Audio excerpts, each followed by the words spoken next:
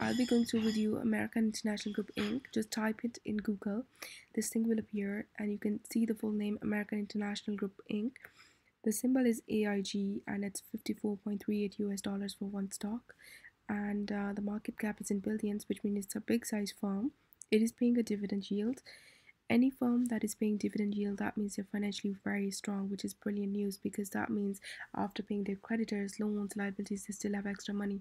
That extra money they pay to shareholders as dividends which is brilliant because even if the dividend don't worry even if the dividend yield is less uh, than what you expect even if it's 0.5% or 1% that is you know that that's fine because that's extra money of the firm so it shows that the firm is financially strong Let's have a look at Wikipedia and search this box and see when was this founded in 1919. Okay, that's brilliant. And uh, let's look what the employees have to say about this. So what I'll do is I'll just copy this exactly from Google. I'll paste it here, type Indeed reviews, and let's have a look. So I can see they have 3,300 reviews and 3.7 star. Read through the pros and cons yourself. Check out the salaries they're paying, the photos of the firm, the jobs listed, and the question asked. Now let's look at Glassdoor reviews as well. That's brilliant website as well for reviews. And I can see that it has 4,300 reviews and it's 3.1 star. Uh, read through the pros and cons yourself, the jobs listed, the salaries they're paying, the interview questions, the benefits they're giving, and the photos of the firm. And uh, let's go to Yahoo Finance and see what the key executives are getting, what their salaries are. So please click on the um, symbol from NASDAQ, which is AIG, and uh, go to profile and go to sector industry full-time employees these are the ones and I can see they have five key executives only four of their salaries have been shown. Uh, one is it says not applicable so we need to find out why it's not applicable because the more transparency in terms of salaries there are the more better trust we are able to build. So that's important to know why it's not applicable. Let's go to justia patents and see what patents this firm has. So i'll just paste it exactly from google and I can see please concentrate on applicant or assignee because these are people who have full rights of the patents. So I can see in 2012 they have patent 2013 2001 2007 2008 so it has a lot of patents. That's brilliant because it means it's a very strong firm and it's difficult to beat this firm the, uh, because it has a lot of patents which is brilliant and look for recent patents in 2015 16 17 18 because that means they're still innovating. I can see a recent patent in 2018 that's brilliant. 2014 that's a recent patent and um, so it has a lot of patents that's brilliant. Just go through the list yourself there's another page to it as well. Now let's go to macro trend and see its ratios. Go to price ratio price book ratio and just paste in the symbol.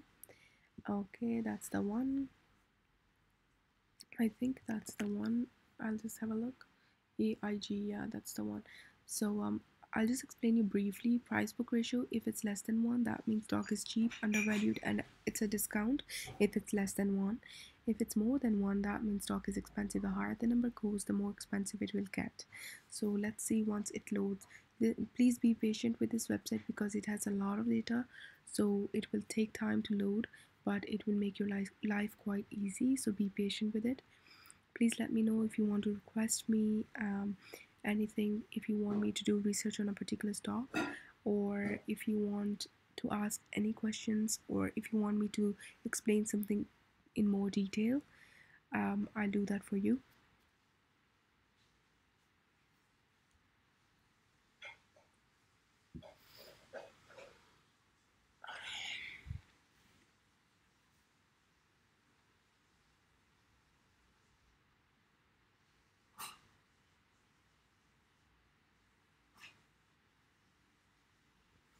right now I can see that um, it's 0.76 which means the stock is 34% off it's 34% sale which is brilliant. Time to buy.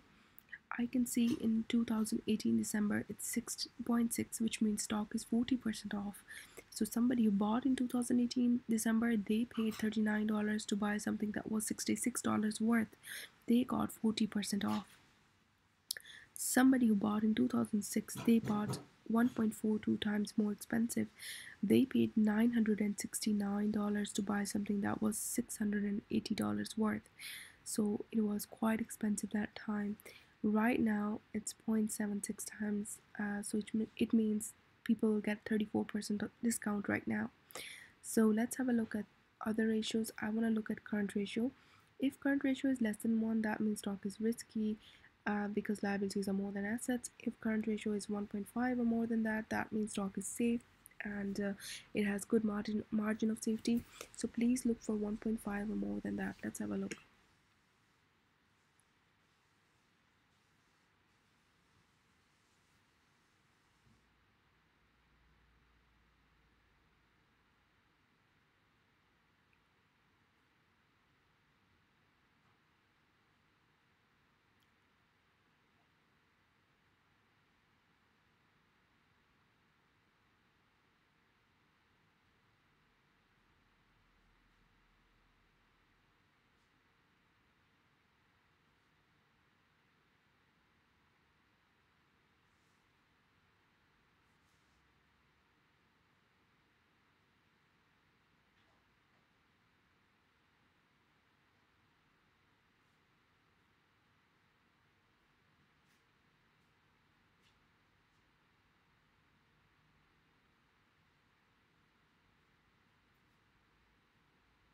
So right now I can see that the current ratio is less, it's 0.19. Um, so the uh, according to current ratio, the stock is very risky because if you see, if you see vertically up, the assets are a lot less than liabilities. There, there's a lot more liabilities than assets, and the stock is very risky. Let's look at the previous trend. I can see that.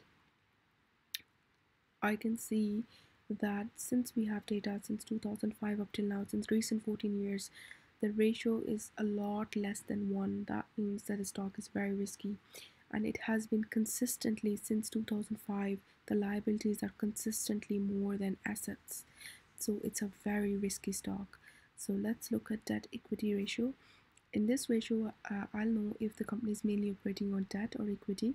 I'm looking for 0.5 or less than that for it to be brilliant. Let's have a look it's just loading right now so you need to wait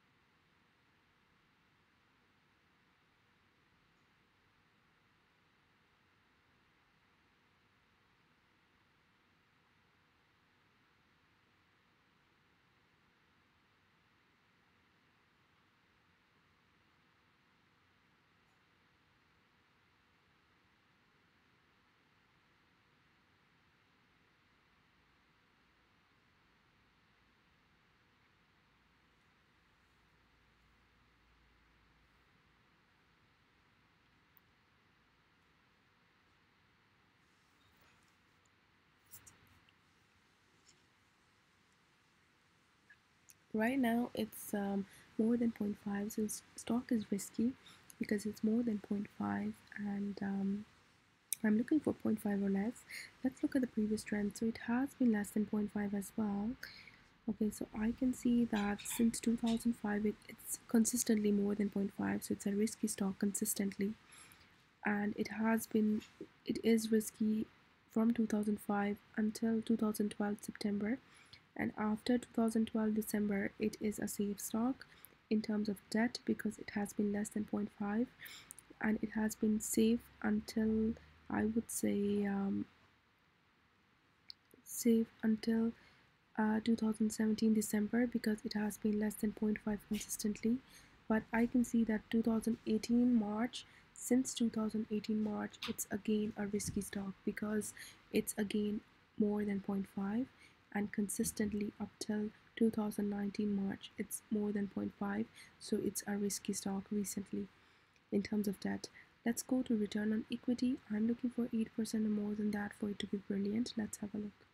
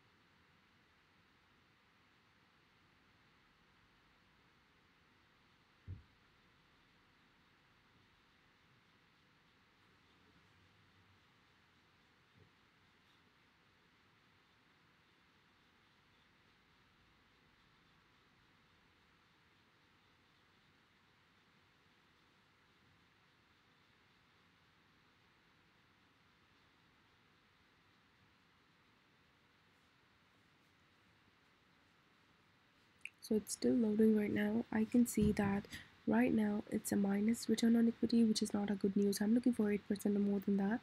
Let's look at the previous one. It's consistently minus and then it's like fluctuating. So um I would say that since 2005 it's like there's a lot of minus equity return on equity and then there's you know recently it's a minus return on equity. So in terms of return on equity it's not doing good right now